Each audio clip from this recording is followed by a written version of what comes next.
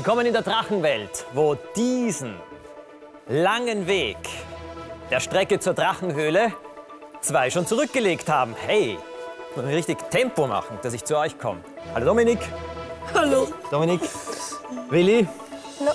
Tolle Leistung. Danke. Ausgezeichnete Danke. Leistung. Wie geht's euch? Gut. Alles unter Kontrolle? Ja. Soweit? Ihr seid ungewöhnlich im Film. Du hast als Haustiere zu Hause Hochlandrinder, Schottische. schottische, du Schlangen. Und äh, ihr könnt großartig Tierstimmen nachmachen. Das, mach noch einmal deine Tierstimme. Das mache ich immer, damit das irgendwie.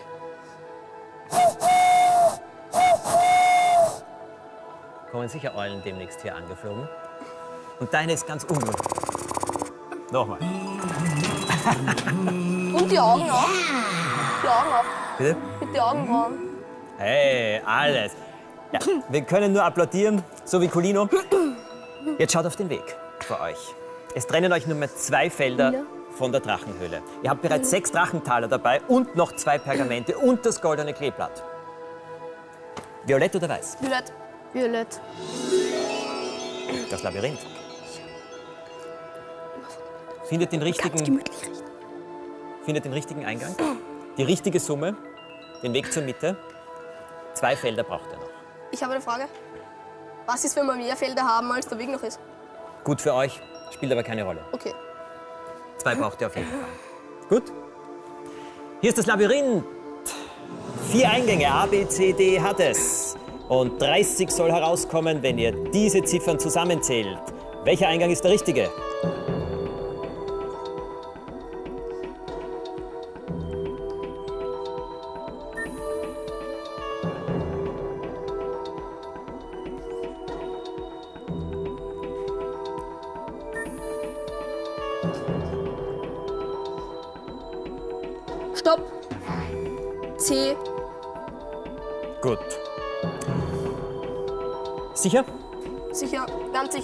Ganz gemütlich nachrechnen. Ganz gemütlich nachgerechnet. Das wären drei Felder, also wie gesagt, zwei braucht ihr. Das dritte, na, das würde euch höchstens in den Abgrund bringen. Besser nicht nach dem zweiten stehen bleiben, dann kommt nämlich die Brücke in die Höhle. Wenn es stimmt. Eingang C. 30 muss herauskommen und den goldenen Kristall, den wollen wir am Ende sehen.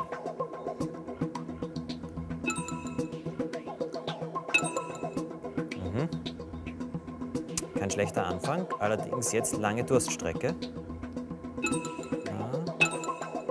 21. Das sieht nach 9 aus. Kommt noch was? Ja, der goldene Kristall geschafft! Ja, super.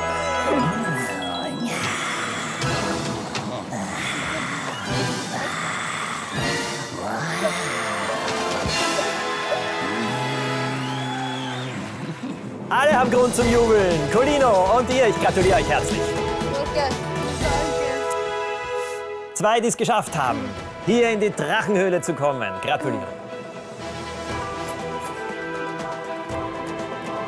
Das Gitter öffnet sich immer nur. Das ist wirklich gute, starke Freunde. Die viel wissen, viel können. Und die jetzt über die Brücke gehen.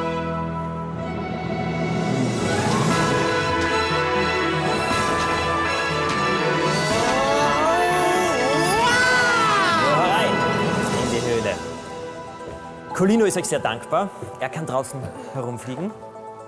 Und ihr könnt euch jetzt Drachentaler aus den Schatztruhen holen. Woher seid ihr? Ich bin aus Unterwürmbach und ich bin aus Meißau. Und das ist welches Bundesland? Niederösterreich. Niederösterreich. Willi und Dominik, große Gratulation. In die Höhle schaffen es nicht viele. Hier sind die Schatztruhen. In vielen sind eine ganze Menge an Drachentalern, in einer sogar der goldene Drache, der alles verdoppelt. Und links und rechts in diesem Regal sind Dinge zum Thema Zirkus. Es sind immer drei zur Auswahl. Sucht euch das aus, was ihr beide am liebsten wollt. Die Dinge sind unterschiedlich geordnet, es ist nicht die gleiche Ordnung links und rechts. Sucht euch das aus, wo ihr beide sagt, ja, das wollen wir beim Zirkus am allerliebsten. Beide. Jede Übereinstimmung bringt euch eine Zauberkraft, um eine Truhe zu öffnen. Los geht's. Geht zum Regal. Das ist meins. Das ist mein Zettel. Denn im Zirkus können Sie aussuchen, was Sie gerne wären, wie der Zirkus heißen soll was das beste Kunststück wäre, das Sie zeigen könnten, welch, was Sie in der Zirkuskapelle wären, was denn das Publikum zum Naschen kriegt und was das Publikum, wenn es nach Hause geht, noch so als Mitbringsel, als Geschenk erhält. Jeweils drei Sachen stehen zur Wahl. Sucht das aus, wo ihr meint, das gefällt dem anderen auch sicher gut oder das wollt ihr beide am liebsten haben. Jetzt bin ich gespannt. Wie viele Übereinstimmungen gibt es? Sechs Dinge müssen dann in eurer Tasche liegen. Sechs Sachen. Nicht mehr, aber auch nicht weniger. Mhm. Willi ist wieder da. Dominik, hast du alles? Ja. Die Zeit ist abgelaufen jetzt auch. Jetzt geht's los. Was wärt ihr gerne im Zirkus? Direktor, Clown oder Feuerschlucker? Direktor, Clown oder Feuerschlucker? Der Willi wäre gern Feuerschlucker. Ah, der Dominik wäre lieber Clown.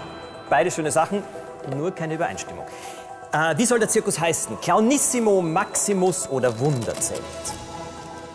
Du hast dich entschieden für Clownissimo und du ebenfalls. Clownissimo, erste Übereinstimmung. Sehr gut.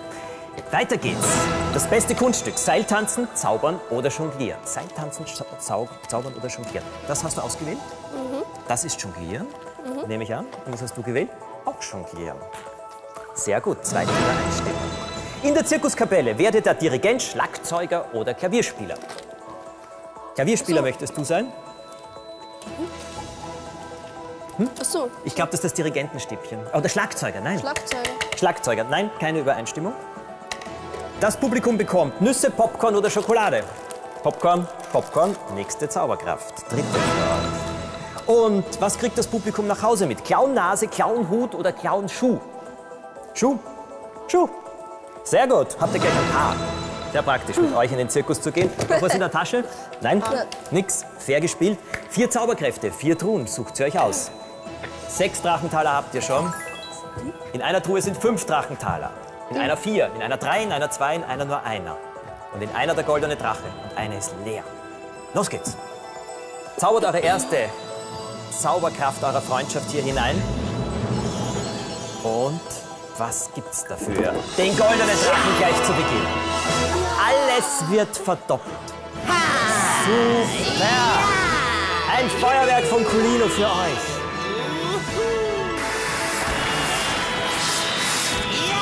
Ja, und während Colino draußen am Himmel seinen Feuerzauber abzieht für euch, habt ihr schon die nächste Truhe, ich halte euch gerne den goldenen Drachen, ausgesucht. In ihr ist hoffentlich was drin.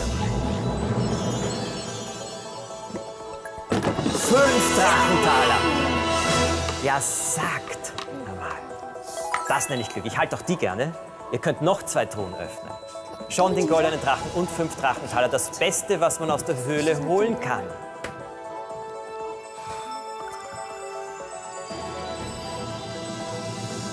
Und jetzt geht's hinein. Das Schloss wird geöffnet.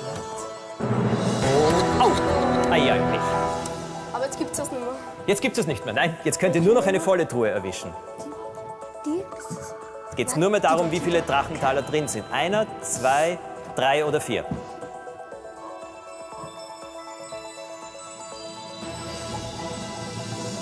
Der Höhle. Schatztruhen, noch ein Drachentaler dazu. Bitte sehr. Hier, kommt her. Die fünf, noch einer dazu. Ein goldener Drache. Zwölf Drachentaler habt ihr, mal zwei ist, sind 24. Gratulation. Das ist euer Schatz. Welchen Wunsch möchtet ihr euch gerne damit erfüllen? Ich werde mal ein paar Bücher kaufen. Mhm. Und du? Ich will erst einmal sparen und kaufen und dann auch irgendwas. Ihr wart großartige Spieler. Ich gratuliere euch. Macht euch auf den Heimweg. Der Weg ist grün. Tauscht eure Drachentaler dann um. 33 Euro. Jedes Stück. Alles Gute, Willi und Dominik. Danke. Servus, Danke. toll wart ihr. Großartige Leistung. Das kann man doch sagen. Ja, die beiden haben jetzt ein großes Stück Weg zurückzulegen. Sie werden euch dann noch einiges erzählen, wie es ihnen hier so gefallen hat. Und für euch habe ich in der Zwischenzeit die erste Mitspielfrage von heute.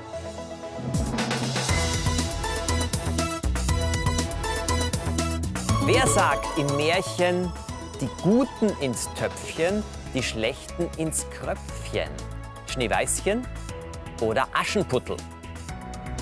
Beim richtigen Namen findet ihr die erste Ziffer von heute.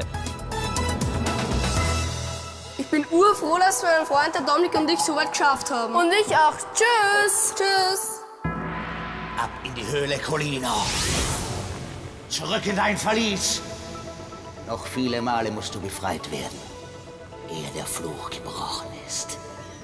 Der Fluch muss noch wirklich viele, viele Male gebrochen werden. Aber es ist auch eine große Chance für die nächsten Schatzsucher, die es vielleicht auch hier in die Höhle schaffen. Wer kommt? Hallo, ich bin die Valeria und das ist meine beste Freundin, die Martina. Wir sind beide zehn Jahre alt und kommen aus Südtirol. An der Martina gefällt mir, dass sie allem alles im richtigen Moment sagt. Und an der Valeria gefällt mir, dass sie sich allem voll durchsetzt. Bei mir daheim im Garten, die am allem Ball spielen. Und auf der Hutsche. Mir gefällt allem ganz viel experimentieren. Und wenn sie groß ist, wird sie sicher eine super Chemikerin. Und die Martina wird sicher ganz eine gute Schauspielerin. Aus Südtirol, hier in die Drachenwelt, kommen Valeria und Martina. Herzlich willkommen. Wow, was bringt ihr da für Glücksbringer mit? Kommt nur weiter, kommt nur weiter. Was haben wir hier? Eine Glaskugel, eine schöne. Ein Hund haben wir auch noch dabei. Sagt mal, ihr sprecht ja nicht nur Deutsch. Sondern auch Italienisch. Könnt ihr sagen, wir lieben dich, Colino? Ti amiamo, Colino. Na, Colino, was sagst du dazu? Bitte schön. was sagt er dazu jetzt? Eine schöne Antwort, gell? Ähm, ich glaube nicht, dass ihr sagen wollt, wir lieben dich, Merlox. Nein, Nein. auf keinen Fall. Was wollt ihr ihm sagen? Wir hassen dich, Merx. Wirklich? Ja. So schlimm? Ja, ich fürchte, so richtig mögen tut er die beiden auch nicht.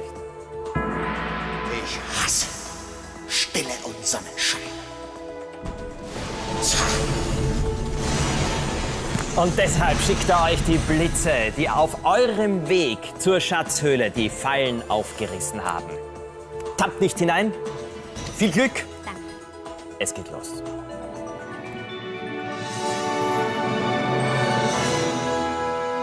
Könnt ruhig einen Schritt noch vormachen, bis hierher. Sieben Pergamente habt ihr am Anfang zur Auswahl. Sagt mir die Farbe eures ersten. Rot.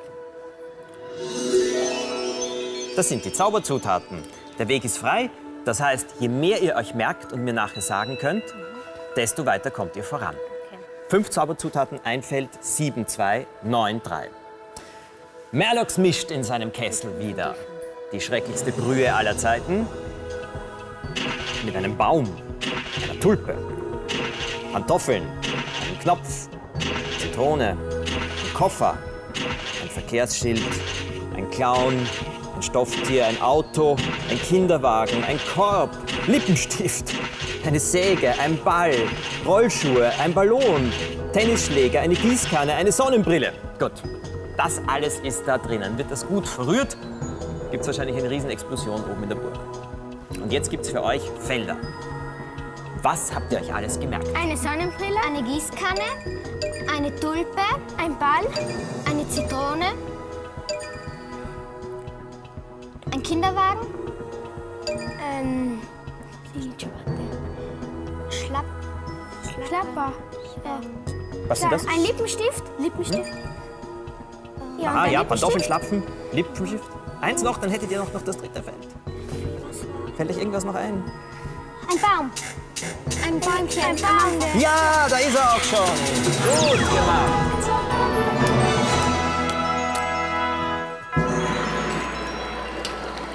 Rosmarin und Baldrian. Bald schon kommen neue dran. Wenn sich Merlox da nicht irrt.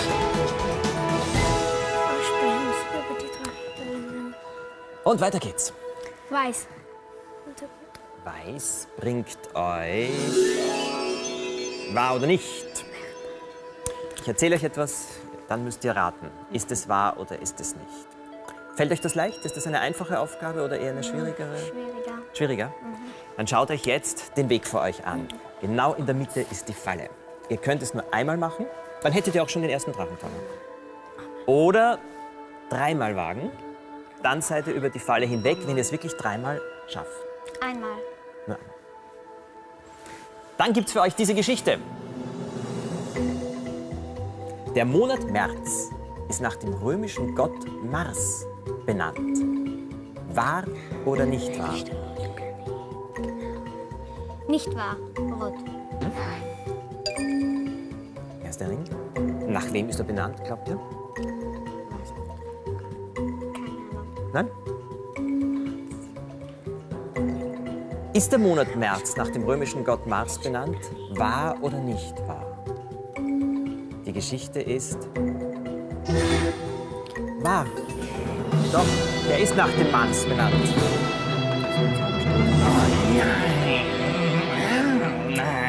Ah, schade, schade, schade. Kann passieren. Und jetzt kommt es auf eure Entscheidung an. Wollt ihr das goldene Kleeblatt einsetzen oder Zauberstab. Merlox Zauberstab hat drei Teile. Erst wenn er alle drei hat, hat Merlox die Macht, die beiden verschwinden zu lassen. Ein Fehler bringt einen Teil für Merlox. Ah, ihr werdet verlieren. Aber solange der Stab so kurz ist, kann er euch nicht gefährlich werden. Macht gleich weiter. Orange. Wie sieht aus? Ich zeige euch drei Sachen und frage euch, wie sieht eine Glaskugel aus? das wäre einfach. Und ihr sollt dann das Richtige herausfinden. Ja, noch immer steht ihr hier. In der Nähe der Falle. Wollt ihr es diesmal versuchen, drüber hinwegzukommen? Dreimal. Viel Glück. Teil 1 der Aufgabe. Wie sieht ein Gürteltier aus? So? So? Oder so? Blau. Da ist schon der goldene Ring und wir lösen auf. Das Gürteltier ist dieses sicher nicht. Das ist ein, wisst ihr das? Liguan. Ein Chamäleon. Ja, ein Chamäleon. Und das Tier, das jetzt verschwindet, ist auch kein Gürteltier. Ja, das ist ein kleines Krokodil. Das ist das Gürteltier. Man sieht eben Gürtel rund um seinen Körper. Gut. Zweiter Teil der Aufgabe. Wie sieht ein Saxophon aus? So. So. Oder so. Blau. Blau. Das hier ist kein Saxophon. Das ist eine. Wisst ihr, was das war? Ist gerade verschwunden. Eine Klarinette. Habt ihr recht? Eins der beiden ist ein Waldhorn. Dieses da. Ihr habt das Saxophon. Herausgefunden. Sehr gut. Dritter Teil. Wie sehen Pfingstrosen aus? Pfingstrosen. So. So. Oder so.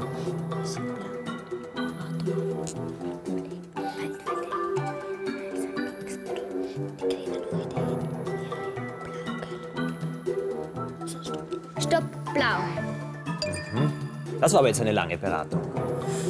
Kennt ihr Pfingstrosen? Ja, gehört habe ich schon einmal. Aber noch nicht gesehen. Hättet ihr einen Verdacht, was die anderen sind, wenn ihr sie Eine ausschließt? Orchidee, grün, glaube ich, der Orchidee. Und rot habe ich auch schon mal gesehen, aber den Namen weiß ich nicht. Schauen wir, ob ihr recht habt. Etwas stimmt ganz sicher, das ist die Orchidee, das ist keine Pfingstrose. Jetzt haben wir zwei Sachen. Eine dieser Blumen sieht man vor allem im Frühling. Es ist die Primel. Das ist diese hier. Die Pfingstrose kommt dann später im Garten. Sehr gut. Wollt ihr wissen, was ich hier schreibe? Hm. Dieser Spruch wird euch ganz schnell heim zu eurer Mami schicken. Lasst euch von Merlox nicht in die Irre führen, sondern nehmt euren ersten Drachentaler.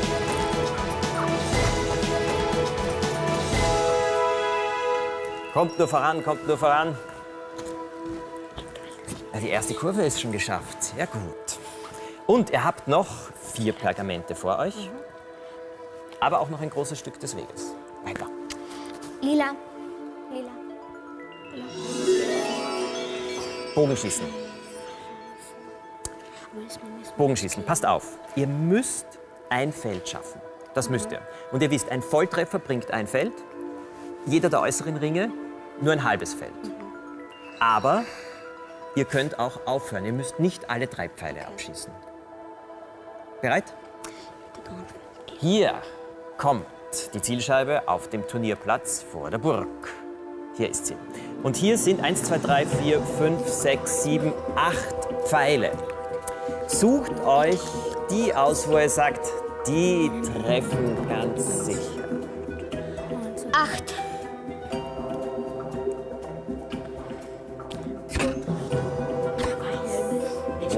Der getroffen?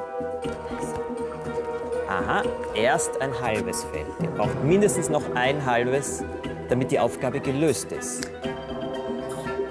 Eins.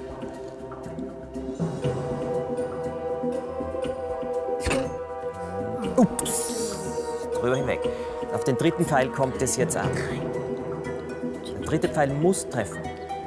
Drei. Der dritte Pfeil fliegt und hat getroffen. Sogar ins Rote. Ein halbes Feld nützt nichts, es gibt keine halbe Falle. Bravo, geschafft.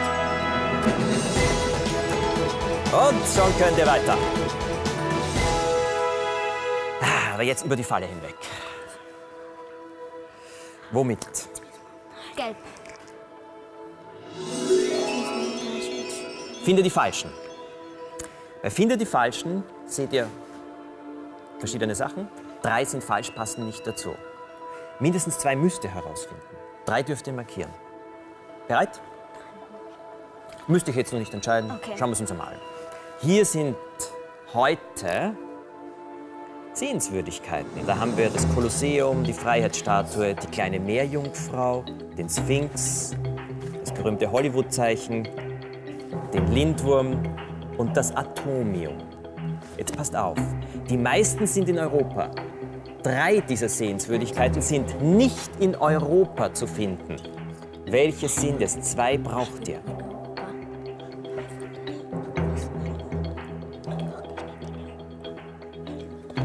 Was wollt ihr markieren? Drei könnt ihr markieren. Nicht in Europa. Was nicht in Europa ist. Achtung, ihr müsst jetzt. Freiheitsstatue? Könnt noch eins markieren? Die Sphinx. Sicher? Valeria hat ihre Bedenken. Du glaubst nicht ganz, dass es stimmt? Was glaubst du? Wäre nicht in Europa? Valeria? Die Nixe vielleicht. Die Nixe vielleicht. Schauen wir einmal nach. Was ist nicht in Europa? Hollywood ist wo? In den Vereinigten Staaten, in Kalifornien. Was ist noch nicht in Europa? Die Freiheitsstatue. Ebenfalls. Damit seid ihr bereits über die Falle hinweg. Sehr gut. Habt ihr noch ein drittes Feld geschafft? Ja. Der Sphinx ist in Ägypten. Die Nixe ist die kleine Meerjungfrau.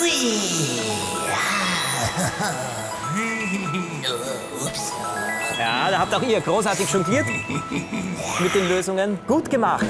Die Falle ist weg. Zwei Drachentaler gehören euch. Kommt nur, kommt nur, kommt nur. Die Nixe ist die kleine Meerjungfrau, die berühmte Märchenfigur von Hans Christian Andersen. Die sitzt im Hafen von Kopenhagen in Dänemark. So, Achtung, ihr braucht noch eine zweite Frage für, den zweiten, für die zweite Ziffer von heute. Und hier ist sie auch schon.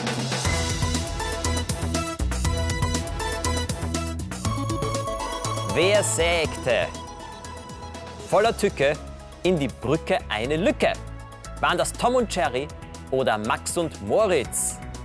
Bei der richtigen Lösung findet ihr die zweite Ziffer. Valeria und Martine, ihr habt noch zwei Pergamente, vor euch aber auch noch ein Drittel des Weges, fünf Felder. Wollt ihr in die Höhle? Ja, natürlich. Ja? Schaffen die beiden es? Ihr erfahrt es beim nächsten Mal. Seid unbedingt dabei. Ihr könnt diese Schatztruhe und ein Drachenschatz Pergament gewinnen. Spielt mit und ruft an unter der Telefonnummer 0820 00 1000 oder gebt die Ziffern im Internet unter konfetti.orf.at ein. Ob ihr gewonnen habt, seht ihr im Teletext auf Seite 706 und im Internet unter konfetti.orf.at.